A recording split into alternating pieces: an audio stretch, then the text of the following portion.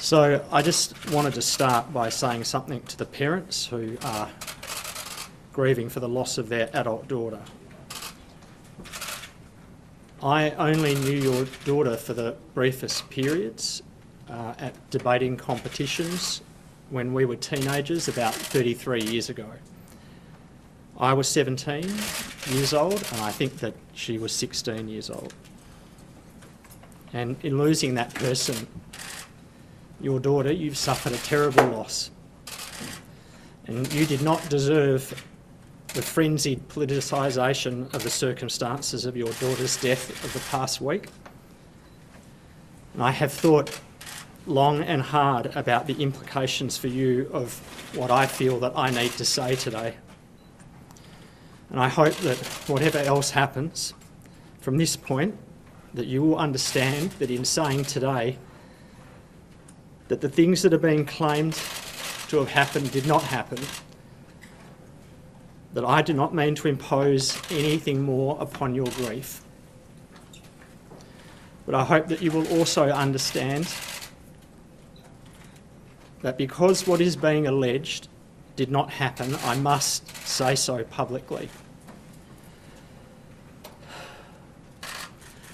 Prior to last Friday's story in the ABC, no one in law enforcement or the law or politics or the media ever put any substance of any specific allegations to me at all. I was aware over the last few months of a whispering campaign. Had the accusation ever been put to me before they were printed, I would have at least been able to say the only thing that I can say, likely the only thing that I'm ever going to be able to say, and it's the truth, and that is that nothing in the allegations that have been printed ever happened. Even now, the only information I have about the allegations is what has been circulating online and in certain media outlets. The allegations appear to be about a period in early 1988 during an end of school debating competition at Sydney University. I was 17 years old and the other person was 16. We were both selected with two others on the Australian Schools debating team, and we went to Sydney University for an international competition. It was a long time ago, I'd always remembered it as a happy time. But I can say categorically that what has been put in various forms, in allegations, simply did not happen. In this last week, I have tried to do what I've tried to do all of my life. Respect the rules and the processes and the law. I was determined to follow the process set out by the AFP Commissioner, and it's a process, because of my background, I know well, to not comment on allegations through the media because it risks prejudicing any investigation. So I've waited until the New South Wales Police concluded their consideration of the matter, and staying silent following the rules was a very difficult decision. While I have followed the rules and stayed silent, I have been subject to the most wild, intense, unrestrained series of accusations that I can remember in modern Australian politics. Maybe that's the new normal. I hope for everyone's sake it's not.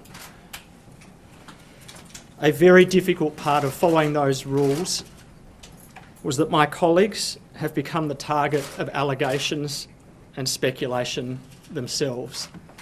My colleagues are my friends, and I'm deeply sorry to each of them for that. But I followed the rules. I did precisely the same thing the former opposition leader did, and I waited for the police to conduct and conclude the process that they apparently had on foot. I make no criticism of the former opposition leader. I now understand what he went through. He also followed the rules and he did the difficult thing asked of all of us by law enforcement authorities. I think a difference for the former opposition leader was that for him, while the police process was on foot, the entire Australian media left the issue to be dealt with by the authorities and did not start an attempt to conclude a public trial by media. There weren't any calls for him to stand down or public reporting of anonymous, unsourced, untested material designed to try someone in public while they're duty bound to remain silent.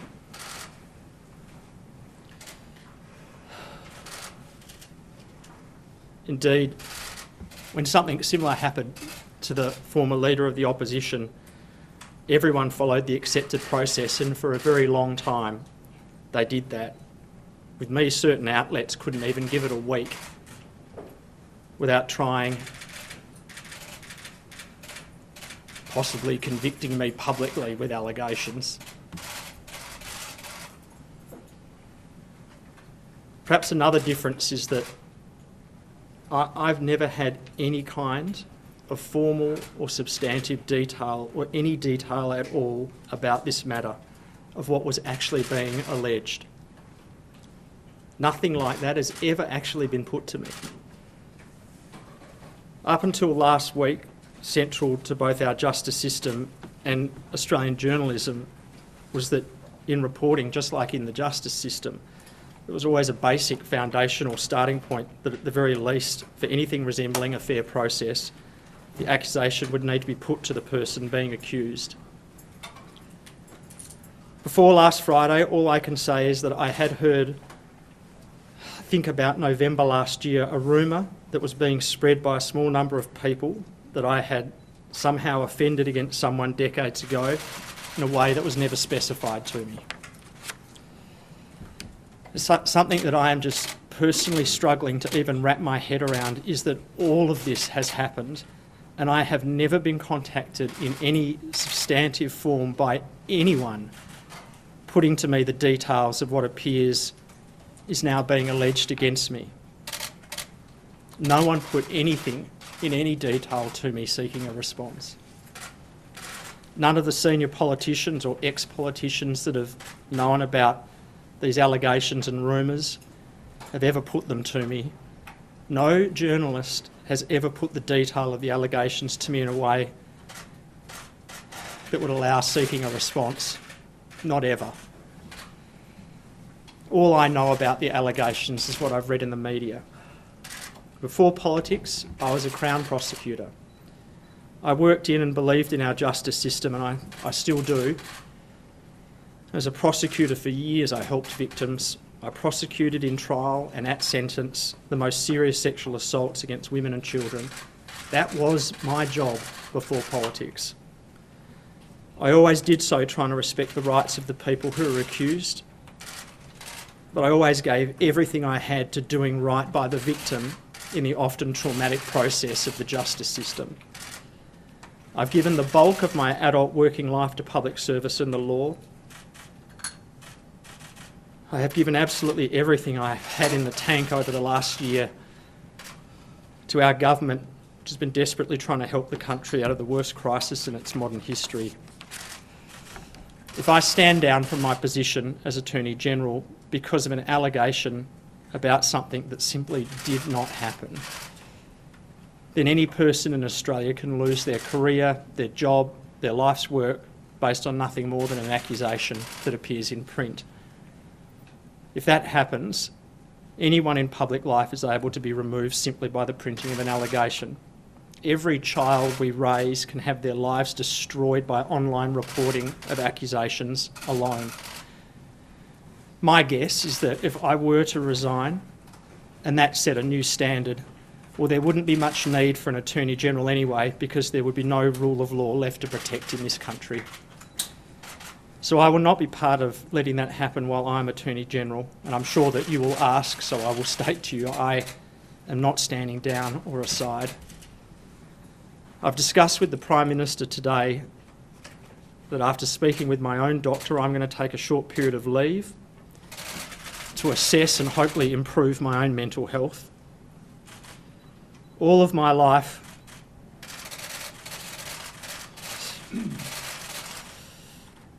I've just pushed through. But for the many caring family and friends who've asked me that question over the course of the last week, are you okay? I've got to say, my answer, my honest answer is I really don't know.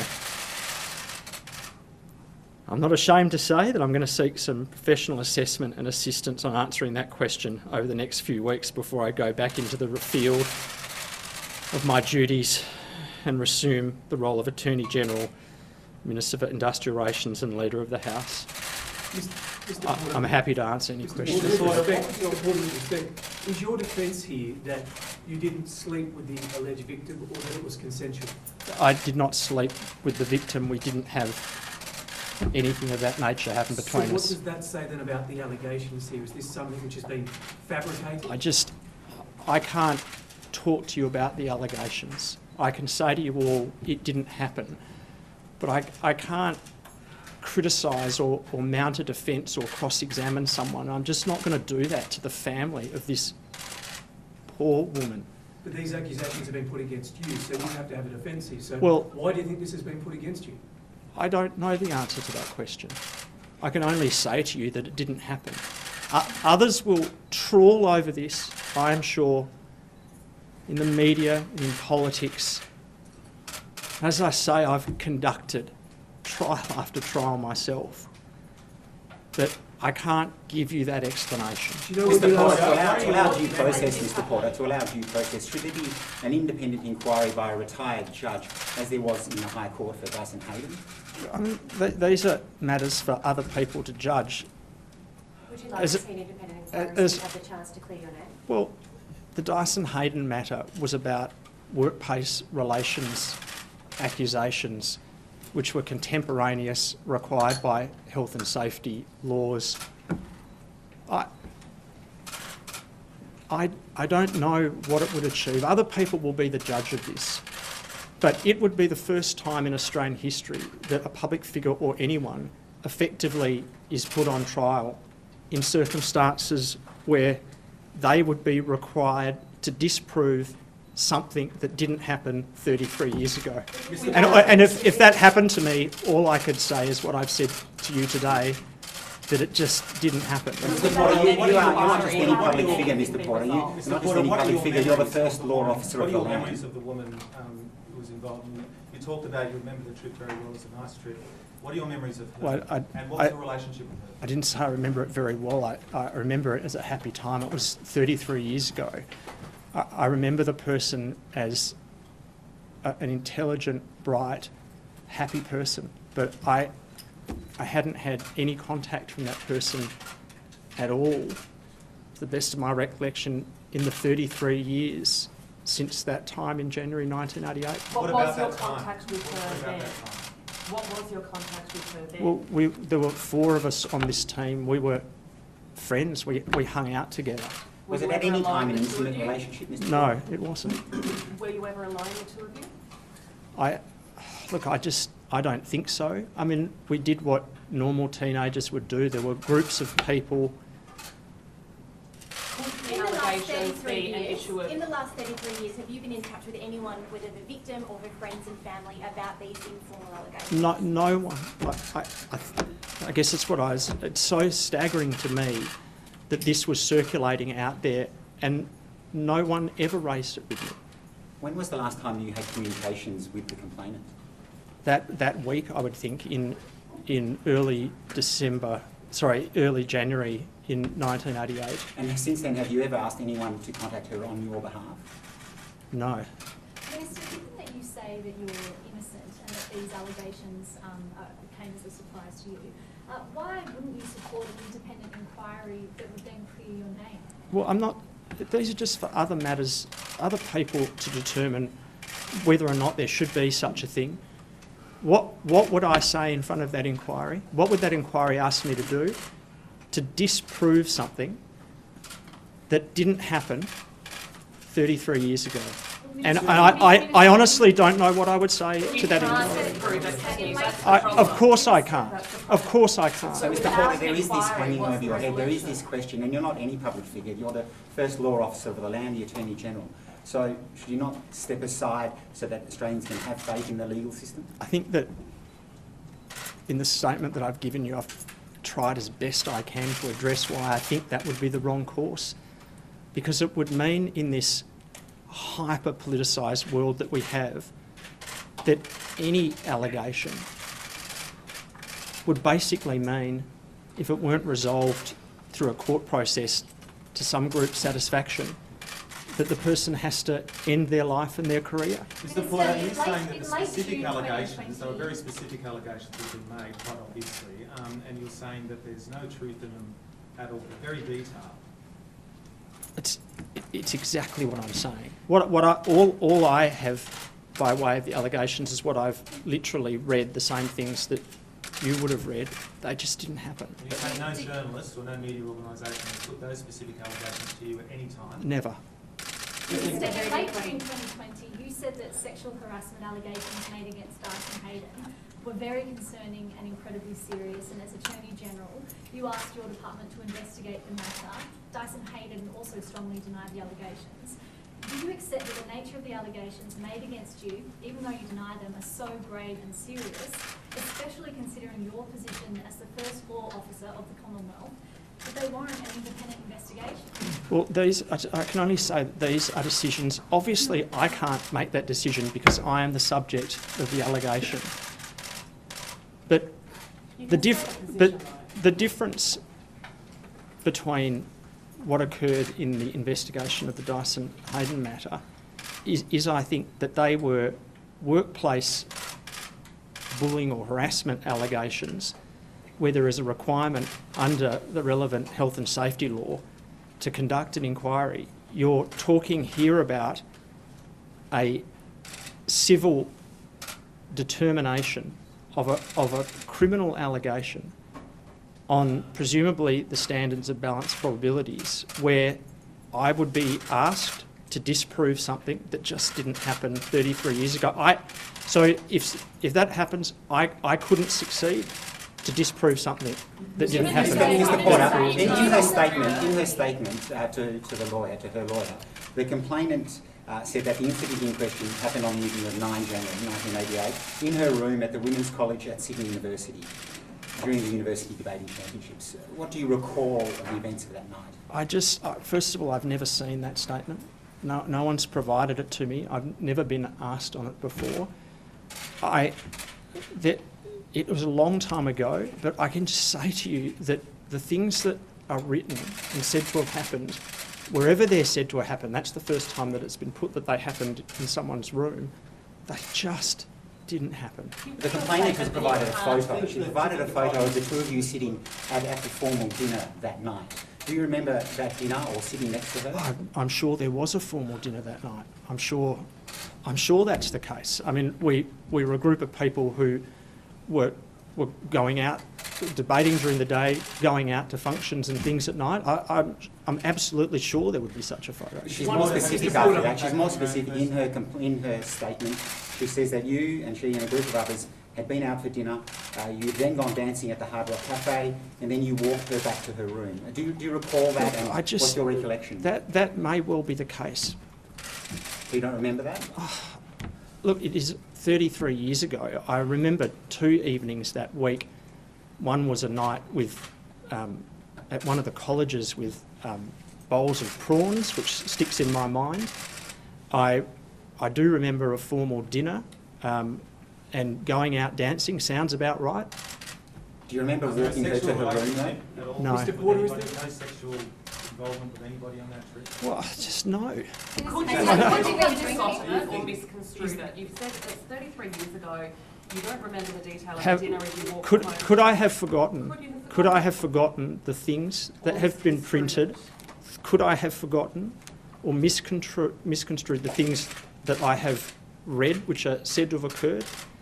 Absolutely not. They just didn't happen. Minister, have you ever been the subject of any other complaints of this nature? Are you aware of any other women in your past who could make similar allegations? No. Mr. To, And have you no, no to both those and questions. Have you ever had anyone, uh, have you or anyone uh, on your behalf ever asked someone to sign a non-disclosure agreement? No. Mr. Porter, on- Mr. just the the problem, it's one of the problems here, Mr. Porter, that, that your government. Sorry, I just- asked- One at a- one at a. Mr. Porter, Sorry. it's one of the problems here is that the government which you're a part of has said that it believes victims, it believes survivors, and yet, with respect, you're standing here saying that it didn't happen. Isn't that somewhat incongruous and difficult Well, now? I just, having Because There is myself, a difficulty there though, isn't there? Uh, having myself run trial after trial after trial, like serious matters, helping victims, women and children, every absolute effort has to be made to take allegations seriously, to pursue them through the court process, and it is an arduous, grueling process. And I did that on their behalf. But equally, the other side of that process is there's, there's rights, and, and there are circumstances where someone might absolutely believe something, but it not, might, might not be a reliable account. That is actually why we have a justice system. It's why we have courts and the presumption of innocence and burdens of proof. That, that's, that's why we do these things in that process and not like this. So her specific allegation, Mr don't Porter, her specific allegation in, in the statement to her lawyer was that uh, then you took her back to her room allegedly and allegedly then forced her to perform oral sex on you and that afterwards you raped her twice. What do you say to that I just, it didn't happen and it's Do you not think true. the Prime Minister's and your Cabinet colleagues are going to stick by you, the two? I just, uh, my, my colleagues are doing, uh, I think, a very, very good job in the most difficult of circumstances. But do you think they're going to personally continue to support you? Uh, You'll have to ask my cabinet colleagues, but if this is the new standard that anyone in cabinet resigns because there's an allegation against them, no matter how serious, if allegation equals resignation, I'm not sure that anyone in any position of authority, cabinet, Labor or Liberal, would think that that's a standard that they want to be put to. Did they, they encourage you to come forward? Did they encourage you to come forward and do you have the, the full backing of the Prime Minister? Uh, I spoke with the Prime Minister this morning and that full backing is there. And he, I, I asked the. Prime Minister for a short period of leave just so I can assess where this is at. Mr. Just on the But- timeline, the but- timeline of when you first spoke to the Prime Minister about these allegations. When did you first speak to the Prime Minister about the allegations? Uh, I spoke to the Prime Minister about the allegations on Wednesday, I think of last And did week. he show you uh, the detailed letter that was provided to him? No, it had been sent to the AFP. Mr. Mr. Porter, Porter, are are you you going able to attend- effectively do your job while these allegations are untested and your integrity is under question? Well, I- I'm going to take a couple of short weeks' leave just for my own sanity. I think that I will be able to return from that and do my job, but tho- those questions, I- I feel in myself that I can do my job, and I'm no different from the person who was doing the job two weeks ago. Does the Attorney General need to be beyond reproach? Well, no one is beyond an allegation. No one. I mean, just can I can I just just but just if you could just imagine for just and I know that you know we're all cynics and this is this is a hard and tough and fast environment that we're all but just imagine for a second that it's not true that for whatever reason the recollection and the belief which I'm sure was strongly held is just not true. Just imagine that for a second. So, Mr Porter, if this was a football club or a corporation or a, or a company or even the High Court, you would stand aside while this was investigated. Would that not be better for you and But for everybody? as, as again, no one has ever informed me about what was occurring with New South Wales Police. But as I understand it, there was a complaint made at some point. The complaint was withdrawn. There was a primary investigation, if I can call it that. The additional material, which I've never seen, which some of you have put to me today for the first time, it appears has been provided to New South Wales Police. They've looked at that, they've investigated, they've sought advice, they've closed the matter. They Are haven't you gonna begin your own They've, they've determined that evidence is not admissible in a court of law. We're not in a court of law at the moment. That- We're in the court of public opinion. With, with respect, that's what a police investigation is, is deter, but, uh, but again, I, I, New South Wales Police have never contacted me. I, I, I don't know, But the burden of what processes they went through. In the court of public opinion. Well, Can you survive the court of I public just, it, opinion? I'm not commentating on it's survival or politics. I'm simply saying to you all that the, I did, it just did not happen. Mr. This thing you has gonna- been- are you gonna sue- to the- Mr. When you spoke to the Prime Minister and he put these, spoke about the situation with you, uh, what advice did the Prime Minister give you? Sorry, um, uh, What the question, did the Prime Minister give you When? you first spoke to him about these allegations? last Wednesday. Well, the, the Prime Minister had received this letter that was circulated and then has been put to the AFP. He explained that he'd received that. I'm not aware that he went into that letter or his office did in any detail. He sent it, as the AFP Commissioner had said, to the authority which was the AFP. Now, we had a discussion about it and it's obviously distressing situation and he, he acknowledged that. But the discussion wasn't, a, Did si- you give advice as to how to proceed? no, I mean, What exactly was said between you and the Prime Minister when you first spoke about it? What did you tell him and what did he say to you? well, he, he said that he had received this material, or I, I actually, you? I, I actually. I actually think that there, someone had put to him that the material had been sent and his office had looked to see if it had been received. I went to his office at his request and he said that he had received the material, that I was the subject of it and that it had gone to the AFP. So Mr. you Porter, are you didn't, gonna you didn't take read any the letter, you didn't read the letter that the, that the Prime Minister, you didn't, rec- you didn't read that, that, that detail? No, I- media reports? I, as I say, I was aware of a rumour But these rumours are just- not to you. I- but, but I had, to make I had, comments. No one has ever put the specifics of an allegation to me from the media. They have used them Enforcement, returned. or, that's not correct. It's, it's not correct. When were you first aware of uh, a rumour, of any rumour from any person? About November of last year, I think. Minister, we now know that the the Prime Minister's we now, we now know that the deceased took her own life in Adelaide in twenty twenty, following meetings in which you were the centre of conversation in terms of the meetings that she was having. Is it right that you remain the first law officer of the Commonwealth of Australia while, while a report on this woman's death by the South Australian Police is yet to be handed to the South Australian Well, coroner? Is that correct? I- Do you retain that position? First of all, I, I don't know anything about the circumstances. I, I just don't. Whether I was a point of discussion or not, I don't know. The status of the South Australian report, which is a, a thing that police do as a preliminary matter for the coroner, I am unaware of. Also on your I, role I, as a- I don't know whether there will be a coronial investigation. Mr. Mr Porter, Porter, are you confident, Mr gonna Porter, that- you confident. Mr Porter, that uh, no other women will come forward with other, ju- uh, other allegations in different jurisdictions? Yes, sir. Mr. Porter, you're going to take, there was a time that you spent alone with this person? Look, I mean, it's not impossible, but I've never been in the person's room or anything like that. You- what, had you been drinking? I, I did read that, I did read that um, as part of the material, and I, rec- I recall it sparked a memory. Um, there were four of us, three, three boys, and this person whose name I can't even say because of the situation we're in. Um, I don't think any of us had ever ironed a shirt before.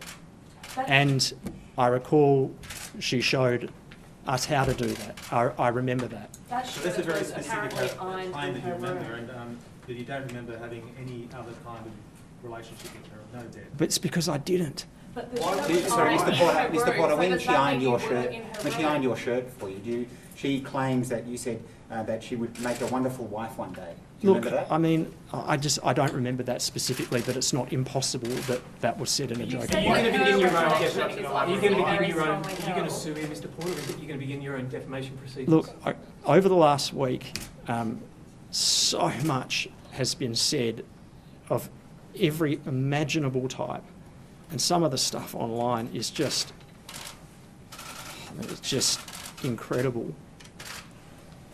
I, I will look at it all. Why do you think this woman would come up with such an elaborate lie? It's just people.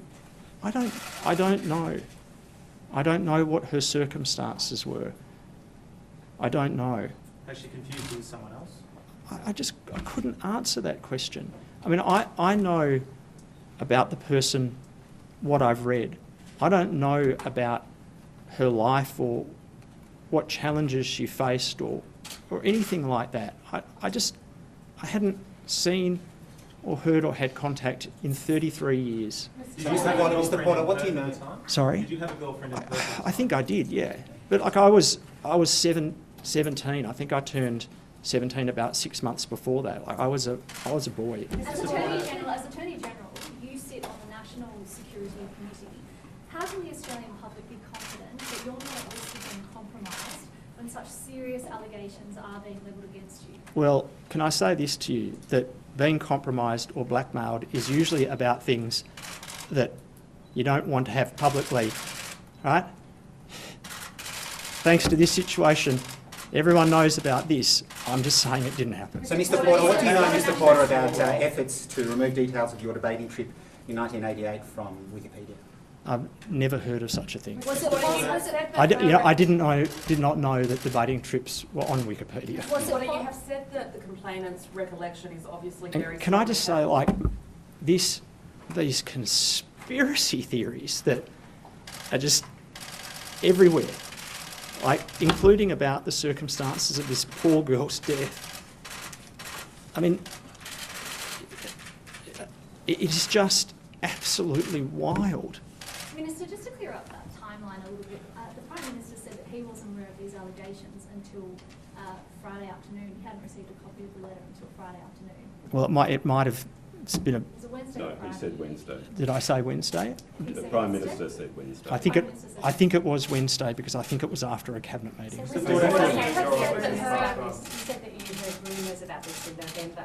Can you tell us where you heard those through? What was, what was I, the um, sense of There was a very old friend of mine um, whom I had dinner with, um, and she had said to me that a group of people were spreading a rumour that I had some, in some way offended against the person uh, 33 years ago. But like, no, like, like rumours are, um, it was just in the vaguest terms. Mr. Porter, will you be paying personally, will you be paying personally for your defamation lawyer Well, I just, taxpayer? I, you're, you're assuming a course of action that I- I just haven't fully contemplated yet. Mr. Porter, how does this affect the way that that- you see your role in public life in the future?